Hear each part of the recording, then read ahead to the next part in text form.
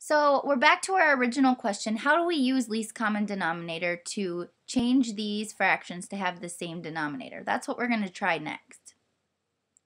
So here I have the fractions 3 fifths and 3 sevenths. The denominators are not the same. I'm going to start by finding the least common denominator of 5 and 7 in my box here.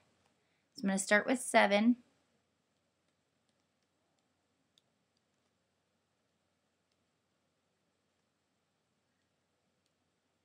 I know that 5 goes into 35, so now when I'm listing out my multiples of 5,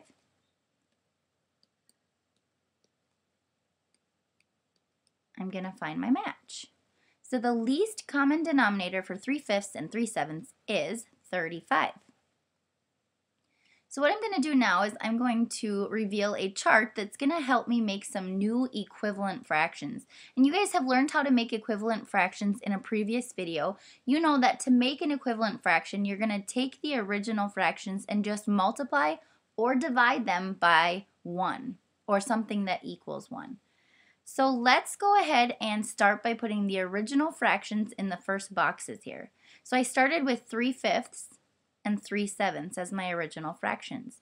I know that my least common denominator for these two fractions is 35. So I'm going to go all the way over to my ending fractions and put in 35 because that's what I want to end with. Now it's just a matter of how do we get to 35. So 5 times what gets us to 35? 5 times 7 is going to get us to that 35. Whatever I do to the denominator of this fraction, I also have to do to the numerator. So 7 over 7 is the same as multiplying this fraction by 1.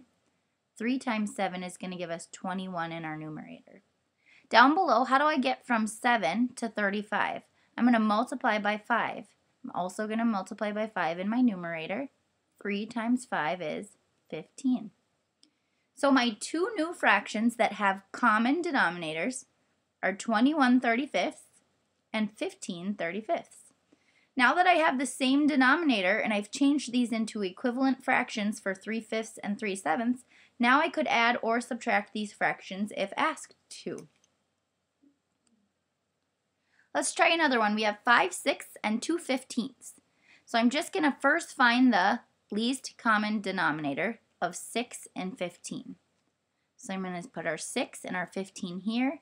I'm going to start with my larger number and I can stop right away here because I know that 6 can go into 30.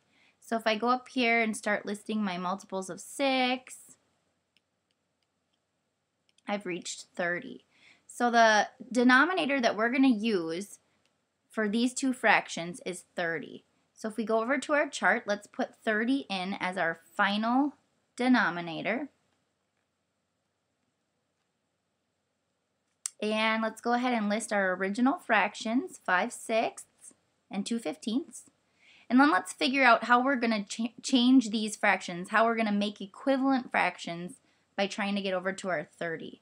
So ask ourselves, what times 6 will get us to 30? 5. So I'm going to do the same thing in my numerator. 5 times 5 is 25. Coming down here, what times 15 is going to give us 30? 2. So I'm going to do the same thing in my numerator. 2 times 2 is 4. So my two new fractions are 25 thirtieths and 4 thirtieths. Same denominators now, so I can go ahead and add or subtract these fractions if needed.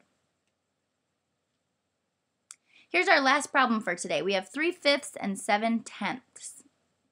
I'm going to circle my denominators, and I'm going to go ahead and find the least common denominator. So by putting 5 and 10. When I start listing my multiples of 5, I'm going to realize right away that the thing that both of these numbers have in common, the multiple they both have in common, is 10. That one was really quick and easy. So revealing my chart, I know that my least common denominator for these two fractions is going to be 10. So I'm going to place 10 in my final fractions. Go back to the original fractions, 3 fifths and 7 tenths and move myself over. So 5 times 2 is 10. 3 times 2 is 6. 10 times 1 is 10. And 7 times 1 is 7. My two new fractions are 6 tenths and 7 tenths.